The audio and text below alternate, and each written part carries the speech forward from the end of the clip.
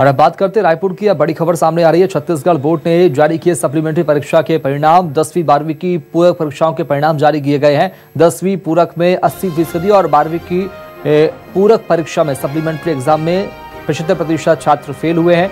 बता दें, सप्लीमेंट्री परीक्षा में पैंतालीस हज़ार छात्र फेल हुए हैं। अठारह परीक्षार्थियों के परिणाम नकल प्रकरण के चलते रोक दिए गए हैं। साठ हज़ार छात्रों ने सप्लीमेंट्री की परीक्षा दी थी और दसवीं और बारहवीं की पूरक परीक्षाओं के परिणाम जारी हो गए हैं। बड़ी जानकारी सामने आ रही है रायपुर से। तो छत्तीसगढ़ माध्यमिक शिक्षा मंडल बोर्ड ने ये परिणाम जारी कर दिए हैं।